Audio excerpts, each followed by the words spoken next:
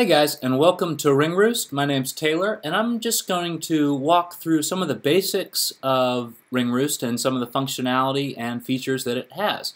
So what RingRoost is, is a hosted PBX system that allows you to set up um, your own business PBX through a simple drag and drop interface. So you can do things like um, set up phone lines, um, answering machines, uh, put in call queues, um, you can even do click to call, all the standard kind of things that come with a PBX, um, voicemails. Um, you can even integrate with databases and stuff like that. So um, if, if you don't have an account with us, you can go ahead and sign up. It's really easy to sign up. Um, it's free to sign up. If you want to start making calls, you will have to deposit at least a little bit of money. Um, so when you sign up, you'll come to your dashboard, and it, all it has is a list of your PBXs. So you can go ahead and, and go to your default PBX. And this is the main interface for building out your company's PBX. Uh, and what we have on the left here are what we call call controls. And basically, they're various controls within a call flow, um, and they all contain certain functionality. Um, so if at any point you have a question about it, just click this question mark and a video will pop up and explain what the call control can do. Uh, just to show you briefly kind of how the software works, um, you drag and drop a, a particular control, um, and the starting point is the answer call control. This is where the call comes in, and after you get a phone number, you'll see the, all your phone numbers that are available here. You select the phone number that you want this control to handle, um, and then from there you can simply drag and drop um, to another control. And this can and what will happen is when the call comes in, it'll go through this flow and it'll now go to this control. So um, this is a simple, the menu is a simple IVR menu. So you could do something like um, press 1 for sales, 2 for tech support. Um, and then here you add items. You just say 1, 2, and then you set up, for example, a um, outbound dial to whichever numbers you want to dial sales and um, tech support correspondingly. Um, so with this dial control, you can dial any just regular phone number or you can dial a SIP address. Um, and the way it'll work is it'll dial both of them at the same time, and whichever one picks up first, the call will be connected to.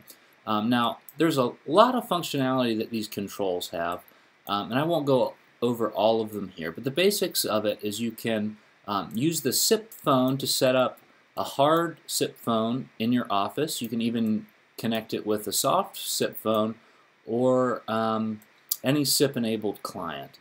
Um, you have the capture voicemail control, which obviously just captures a voicemail. The check voicemail control, which is really for you just to be able to check your voicemail. Um, the dial, which dials out. This is uh, the menu control, so you can set up interactive voice response menus. The time filter control, which allows you to select a particular time. If it is within that time, it'll route the call one way. If not, it'll route the call another way. Um, you have the decision control. Um, the decision control actually leverages another feature, which is the which is variables. Um, so variables is a is a really cool feature that allows you to uh, embed variables in input. So you can say, for example, if if uh, the from number, whoever's calling, equals a particular number, you'll route them this way. If not, you'll route them another direction. Um, you can also do this right within your IVR menus and and lots of other controls have this feature. So you could say hi, um, and then as long as you have the C name enabled, you could say from name. Um, and it will actually say hi and then their name. Um, so that's another feature of the menus. You can also add your own recording through the recordings library. Um, so you just select a file and you can add it right to the um, right to the menu and it'll play that file back. Um, we have the call queue control which allows you to queue calls. So if, for example, you're waiting on a uh, particular, if a particular phone line is busy, the, the caller will be sent into a queue And if you don't want them to wait in the queue, you can set a certain timeout. So this would be after 60 seconds, you send them somewhere else. Um, so this is a great feature if you're running a call center and um, have high call volume. Um, the capture digits control, it allows you to basically set a variable on your board. Again, there's this idea of having variables that you can use throughout your call flow uh, at any time. There's all sorts of advanced functionality that you can do with those variables. Um, the load variables control is another um, advanced control that allows you to make a HTTP request um, and retrieve a JSON object and then populate um, variables based on that object and those variables are then later available in the board. Uh, so what this allows you to do is integrate with all sorts of database systems, uh, any other any other pro programmatic system really. Um, and then of course you can send a text message at any point through the call flow.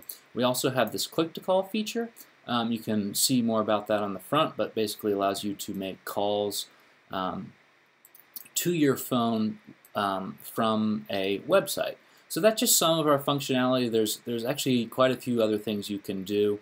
Um, one other thing that's probably worth mentioning is you can add a, I'm going to save this call flow system, you can actually add your own SIP trunk. Um, if you don't know what this is, that's okay. We offer our, we offer our own trunking services. But if you already have a current SIP trunk, you're welcome to um, go ahead and add it, and the price is, is really cheap, basically. Uh, similar thing with phone numbers, you can add your inbound uh, phone number. So even if you're not buying the phone number from us, as long as it's SIP enabled, um, you can just um, register the number with Ringroost and it will be available. You just need to make sure that you point your um, SIP carrier to our servers, and we have the information on how to do that. So that's just some of the basics of Ringroost. If you have any questions, we're always available and online. Feel free to just uh, give us a shout, either on chat or give us a ring. Uh, thanks, and bye for now.